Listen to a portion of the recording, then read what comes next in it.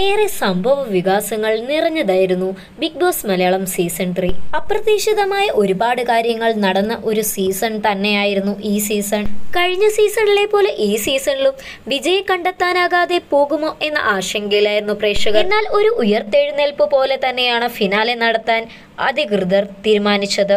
പ്രേക്ഷകരുടെ വോട്ടിംഗ് അടിസ്ഥാനത്തിൽ വിജയി കണ്ടെത്തുക എന്നതായിരുന്നു ലക്ഷ്യം.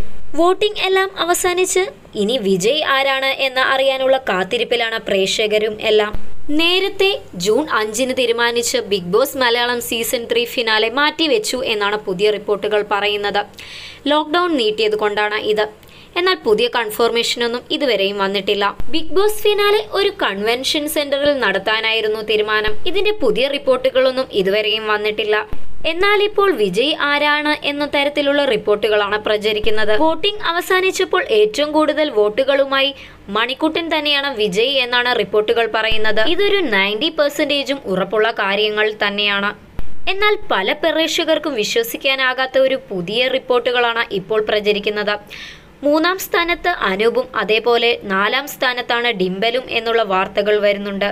അവസാന നിമിഷത്തെ അനൂപിന്റെ ചില പ്രകടനങ്ങളാണ് ഇതിലേക്ക് വഴിവെക്കുന്നതെന്നും പറയപ്പെടുന്നു. എന്നാൽ ഇത് ഒഫീഷ്യലായി നൂറ് ശതമാനം കൺഫേം ആയിട്ടുള്ള ഒരു കാര്യമല്ല. മൂന്നാം സ്ഥാനം മുതൽ എല്ലാവരുടെയും സ്ഥാനങ്ങൾ അങ്ങോട്ടും ഇങ്ങോട്ടും മാറാൻ സാധ്യതയുണ്ട്.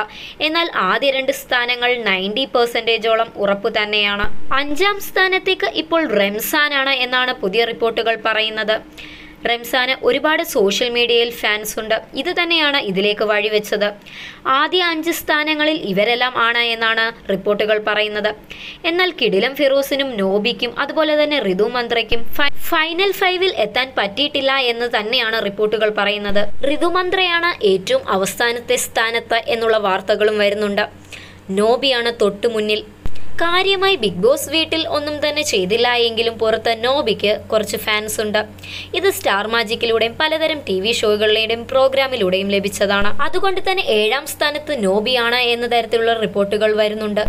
കിടിലം ഫിറോസ് നോബി അതുപോലെ തന്നെ ഋതു മന്ത്ര ഇവർക്ക് മൂന്നുപേർക്കും ഫൈനൽ ഫൈവിൽ എത്താൻ കഴിഞ്ഞിട്ടില്ല എന്ന് തന്നെയാണ് പുതിയതായി വരുന്ന റിപ്പോർട്ടുകൾ പറയുന്നത്. എന്നാൽ ഇത് ഒഫീഷ്യലി നൂറ് ശതമാനം കൺഫേംഡ് അല്ല. വീഡിയോ ഇഷ്ടമായെങ്കിൽ ലൈക്ക് ആൻഡ് ഷെയർ ചെയ്യൂ. കൂടാതെ കൂടുതൽ അപ്ഡേറ്റ്സുകൾക്ക് ഈ ചാനൽ ഒന്ന് സബ്സ്ക്രൈബ് ചെയ്യാനും മറക്കരുത്.